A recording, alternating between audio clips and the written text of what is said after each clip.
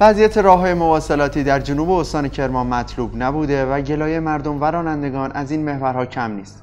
همه این مسائل و مشکلات در شرایطی است که تعداد زیادی کامیون و ماشینالات سنگین برای حمل و جابجا کردن محصولات کشاورزی از این استان به اقصا نقاط کشور در این جاده ها تردد می‌کنند. راه های روستایی جنوب کرمان 40 درصد تلفات جاده استان را به خود اختصاص دادند. محورهای روستایی که آسفالت و بهسازی آنها در کشور و استان با غفلت همراه بوده است. غفلتی چندین ساله که دامن کشاورزان را می‌گیرد هم در موضوع تلفات انسانی و هم خسارت مالی. محور بهادر آباد ایران شهر محور جیروف کهنوش و محور جیروف باف به ترتیب جزو سه محور پرحادثه در جنوب استان هستند.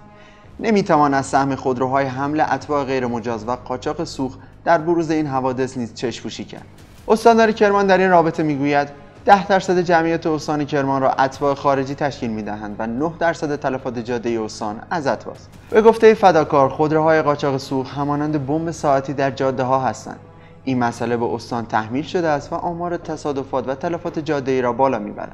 مدیر کل راهداری و حمل و نقل جاده جنوب استان نبود اعتبار را یکی از عاملان وضعیت جاده های جنوب استان می‌دانند حالا باید منتظر ماند دید که آیا جلسات متعدد و راهکارهای ارائه شده هیچ کدام عملیاتی می شوند تا کمی از حجم تصادفات جاده‌ای در راه های جنوب استان را کاهش دهند؟ برای دیدن ویدیوهای ما در یوتیوب کانال ما را سابسکرایب کنید.